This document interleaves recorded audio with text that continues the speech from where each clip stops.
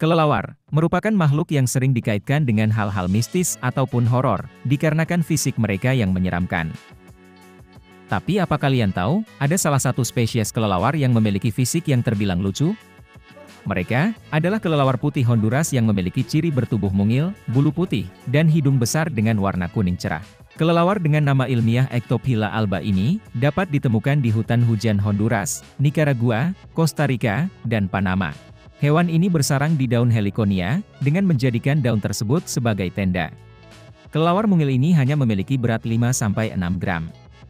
Walaupun ukurannya kecil, umur hewan ini dapat mencapai 20 tahun.